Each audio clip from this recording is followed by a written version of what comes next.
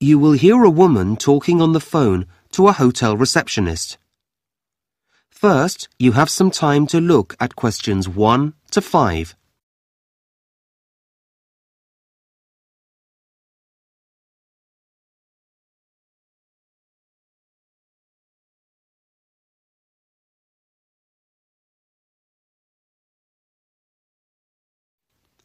Now we shall begin.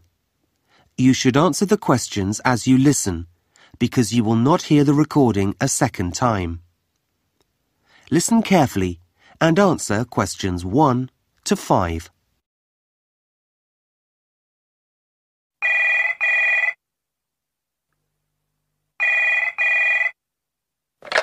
Good morning, Atlas Hotel. Can I help you?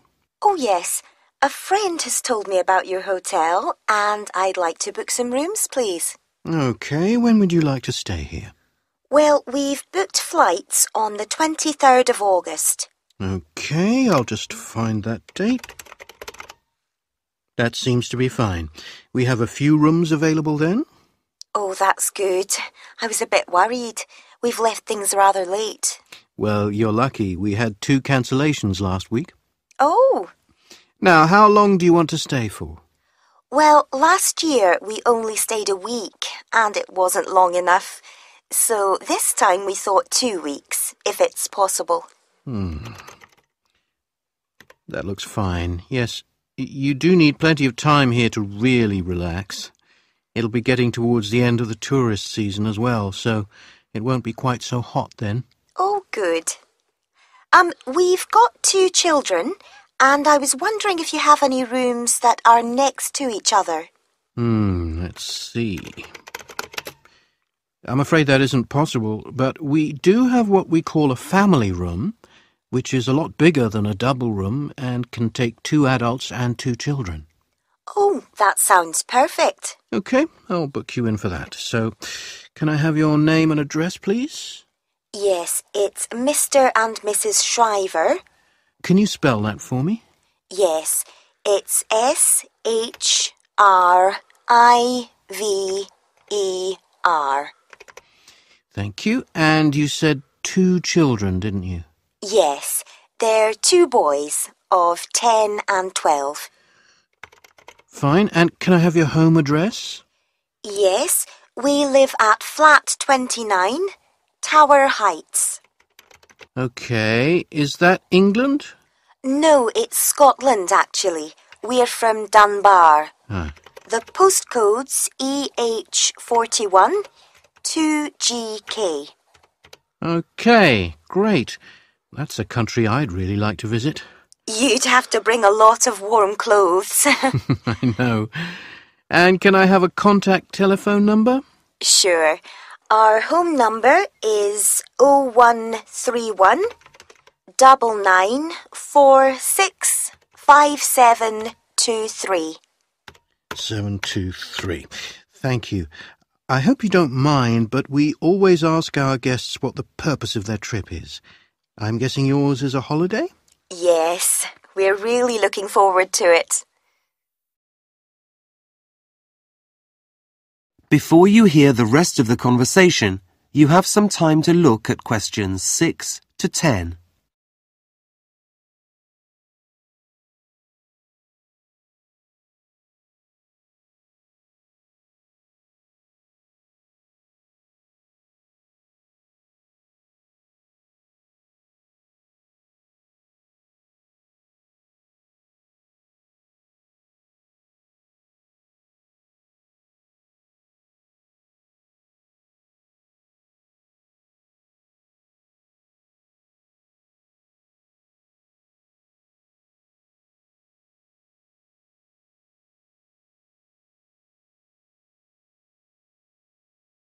Now listen and answer questions 6 to 10. As you've been here before, I wonder if you'd mind answering a few short questions for our tourist board? No, not at all. They collect information from tourists so that they can try to improve the tourism industry here. That's a good idea. Okay.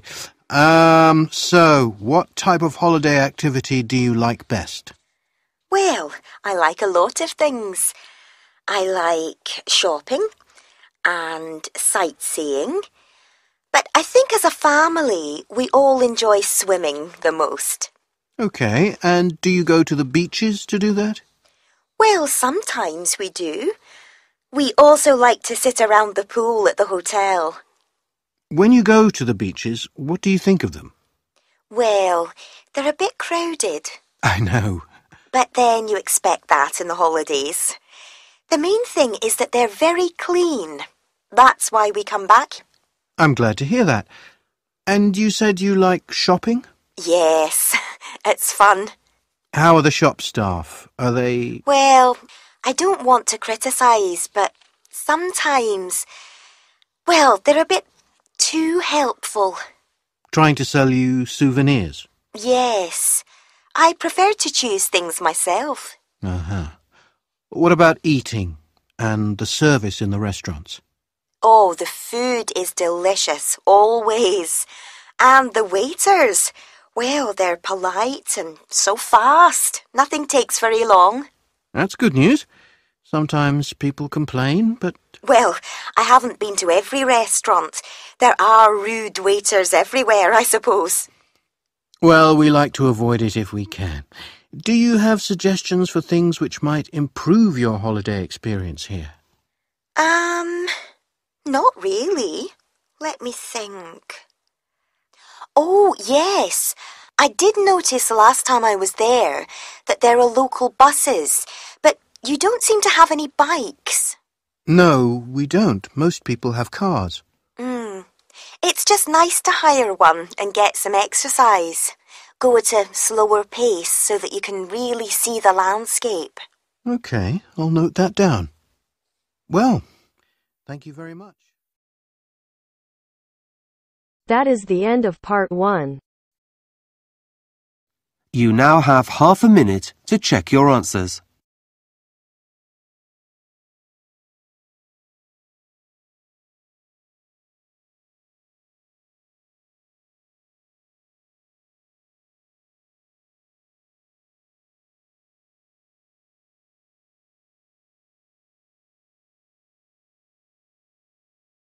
Now turns to part two. 2. You are going to hear a student arranging to transfer between English classes. She is leaving a message on the language department's answering machine. The student's name is May Lee. First look at questions 11 to 17.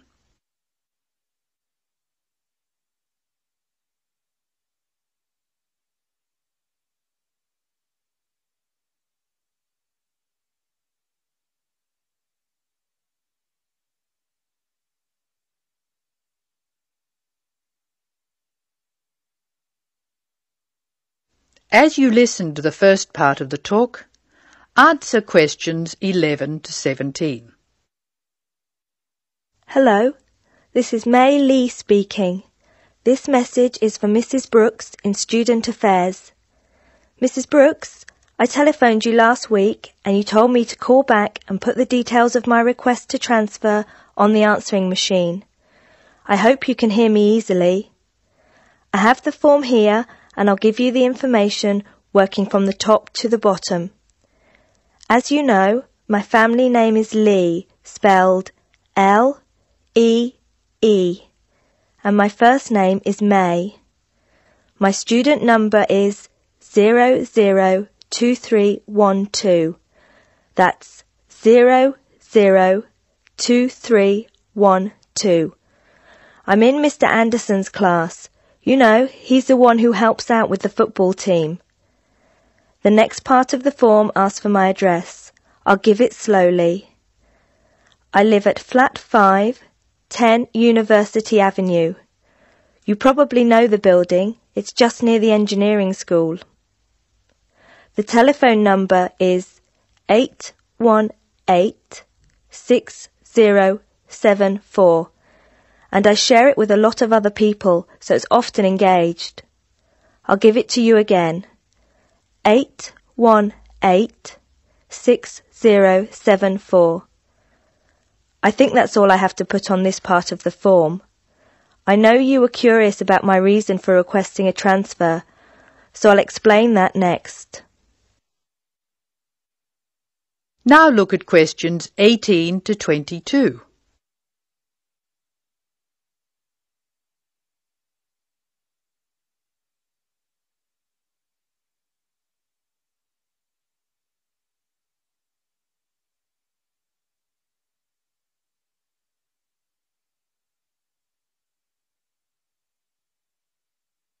As May Lee continues her message, answer questions 18 to 22. Now I'll tell you why I want to transfer between classes. Mrs. Brooks, I really like my teacher and my classmates, but I find it very hard not to speak in my own language. I just begin to think in English when the class ends. And I'm surrounded by other people from my country, so it's natural that we all speak in our mother tongue. I have been looking around for a class where there are very few other people from my country, so I'll be forced to use English. The best class I can find is the evening class, which begins at 6 p.m. Most of the students in that class come from countries which speak Spanish, and I can't speak a word, so I must use English.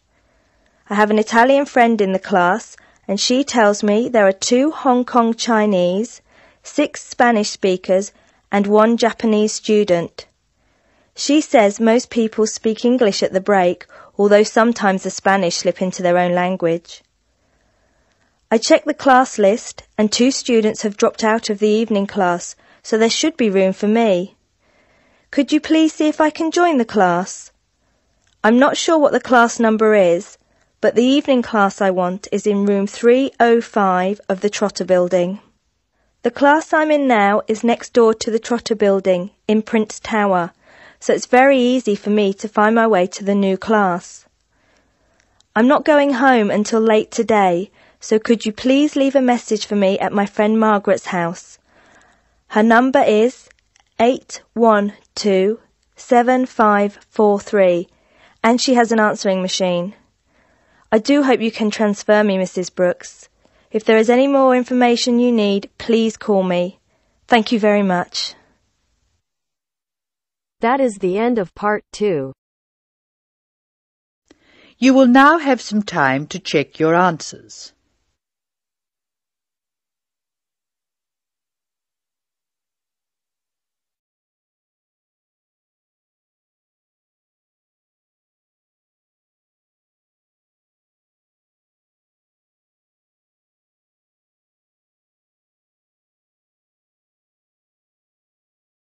Now turns to part 3.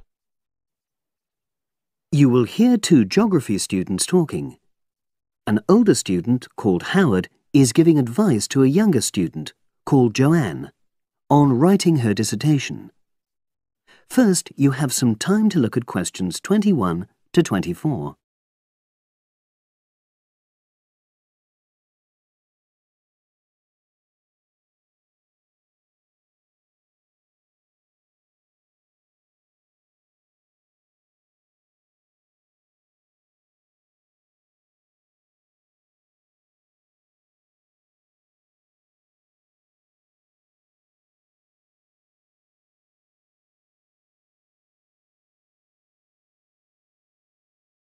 Now listen and answer questions 21 to 24.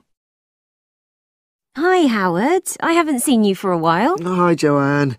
Yeah, they're keeping us really busy on the postgraduate programme. Mm-hmm. But how are you?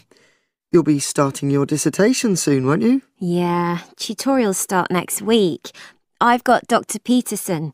You'll remember it all from last year, of course. It's not something you forget easily. Oh. But seriously, although I didn't expect to enjoy writing my dissertation, uh, and in fact, I didn't really find it much fun, I wouldn't have missed the experience. I found it really improved my understanding of the whole degree programme, you know, from the first year on. right. So, what are you doing yours on? Glaciated landscapes. Although I haven't decided exactly what aspect yet. Hmm, I did mine on climate systems, so I can't help you much, I'm afraid. but you'll be fine once you start your tutorials. Dr. Peterson will help you focus. I know, and he'll set me deadlines for the different stages, which is what I need. My concern is that I've got tons of material on the topic, and I won't be able to stick to the word limit, you know? Mm, I remember I had different concerns when I was doing my dissertation. Last year. Yeah, before my first tutorial, I did a lot of fairly general reading because I hadn't fixed on my topic at that stage. Mm. I actually enjoyed that quite a lot and really improved my reading speed, you know, so I was getting through a lot of material. I was frightened I wouldn't remember it all, though, so I got into the habit of making very detailed notes. So, did you find your tutor helpful in getting you started?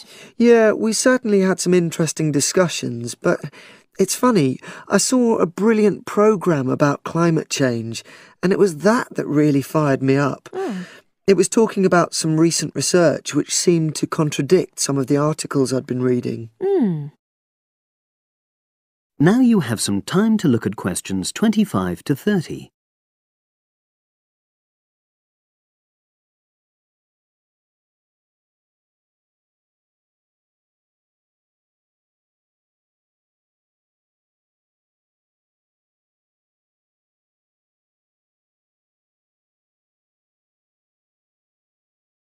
Now listen and answer questions 25 to 30. So you say your tutorials start next week? Yeah. Well, the first month's crucial. You've got to meet your tutor and decide on your focus, but don't become too dependent on him. You know, don't see him every week, only when you want to check something. Right. Once you've got the focus, you've got to get reading. Mm. It's helpful to look through the bibliographies for all the course modules relating to your topic and get hold of any books you think you'll need. I haven't got much money. I mean, get the books from the library, far better. And I suppose I should prepare a detailed outline of the chapters? Yeah, absolutely. But don't feel you have to follow it slavishly. It's meant to be flexible. Okay. Now, I'm someone who likes to get writing quickly. I can't just sit and read for a month. Not like me then. but if that's what suits you, you know, your natural approach, then you really ought to start immediately and write the first chapter. Right. Now, Joanne, about the library, Mm. it's worthwhile getting on good terms with the staff. They aren't always helpful with undergraduates. I suppose they focus on postgrads more. Mm, maybe. But show them you're serious about wanting to do good work. And what if I can't find what I need?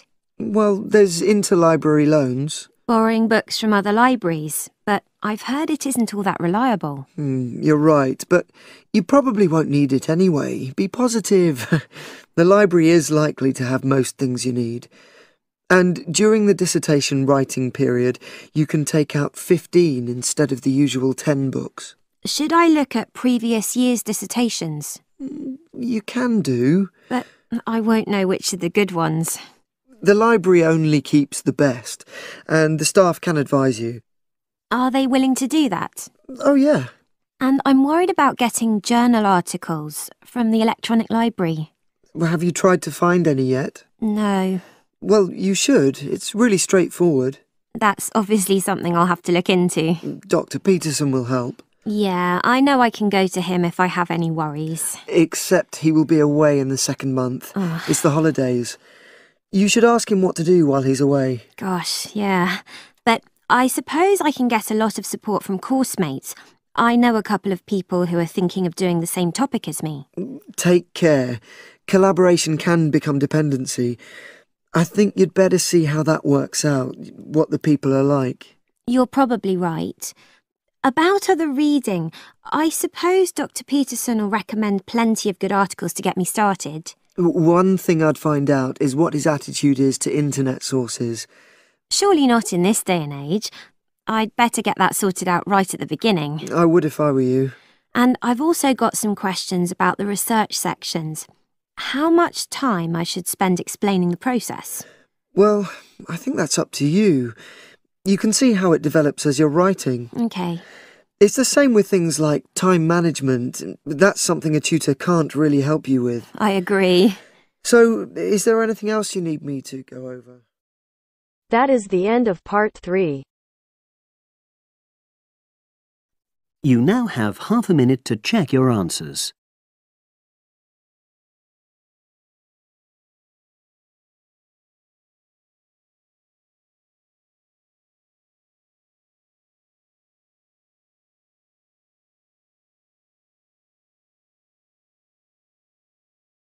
Now turns to part 4. 4. You will hear a student representative explaining the views of the student body about how a large donation to the school should be spent. First, you have some time to look at questions 31 to 40.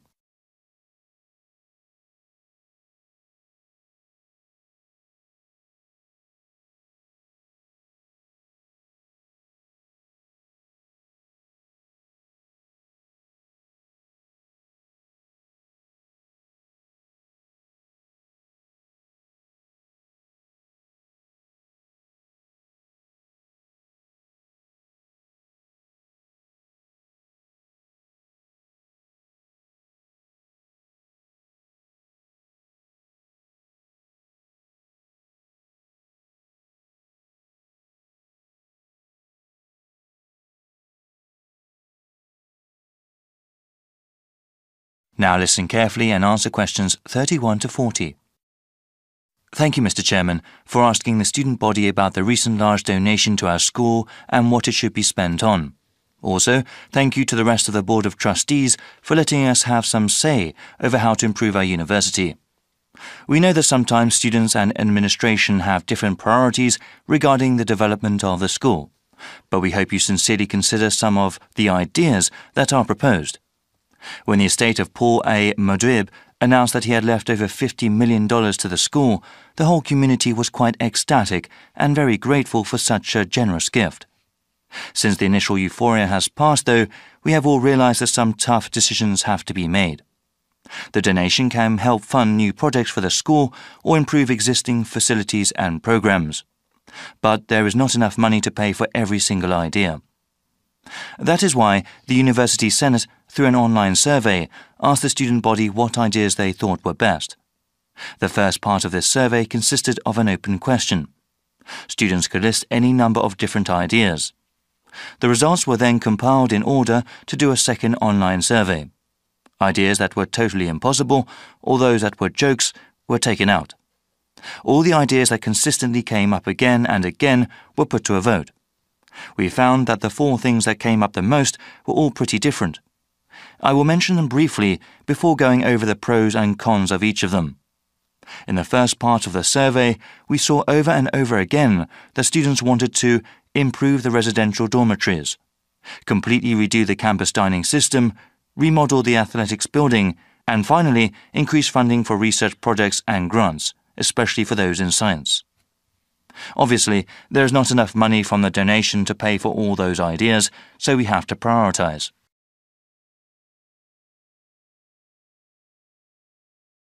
The ideas that got the most votes were improving the residential dormitories and completely redoing the campus dining system. They both got 30% and 28% respectively of students saying that was what most of the money should be spent on. Many of the dorm facilities are quite old and definitely need some repair particularly the shared bathrooms. Also, students have been complaining for a while that there is not an adequate number of dining facilities on campus, and that the quality of the food at existing places is low. Spending most of the donation in these areas would definitely improve the quality of life on campus. However, a significant minority of the student population, about 40%, does not live on campus. They commute from their homes elsewhere and therefore would not benefit from those improvements. 25% of students thought improving the athletics building was the best use of the money, and 17% voted for giving money to research projects for science. There are many people who are attracted to our university because of our athletics programs, so improving the building would improve the reputation of the university. Only a small percentage of students actually ever use the athletics building, however. Though it received the fewest votes, giving money to university research projects has great potential. Any new patents that come about because of that research can possibly earn the school lots of money. That is the end of part 4. You now have half a minute to check your answers.